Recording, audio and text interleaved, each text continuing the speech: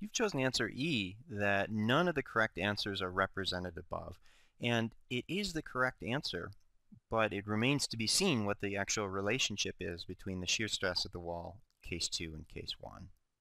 Because the rate at which fluid momentum enters the control volume on the left is equivalent to the rate at which it leaves the control volume on the right, the sum of all external forces must equal zero.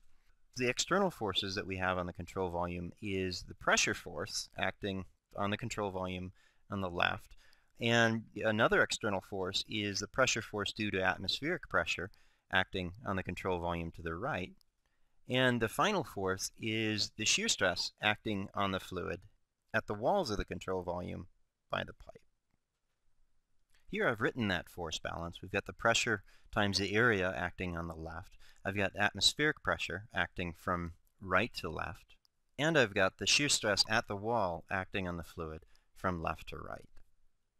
Note that I've multiplied the shear stress at the wall by the area over which that shear stress is acting. And that area is the external area of the walls of the pipe. So I take the uh, area of the cylindrical geometry, which is pi times the diameter of the circumference of the pipe, multiplied by the length of our control volume, which is the distance between P1, the pressure gauge, and the free jet.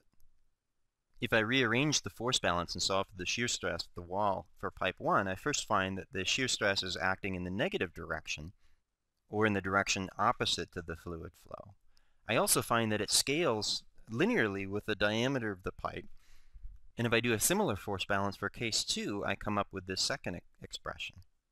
And if I note that P1 is equal to P2, and that the diameter of pipe 2 is twice as big as the diameter of pipe 1, we can come up with the following expression. The ratio between the shear stress in case 2 and in case 1 is equal to 2d1 divided by d1.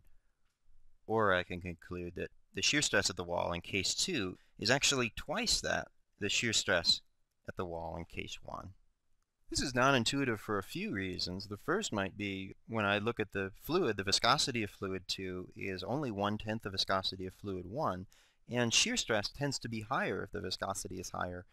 But what also occurs is because the pressures are equivalent, there's a much, much higher volumetric flow rate of fluid through case 2, and the shear rate in case 2 is a great deal larger than the shear rate at the wall in case 1.